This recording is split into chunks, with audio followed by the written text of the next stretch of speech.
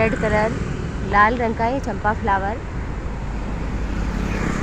बहुत ही खूबसूरत लगता है। इसकी डाल भी आसानी से लग जाती है। इसमें फ्लावरिंग बहुत होती है।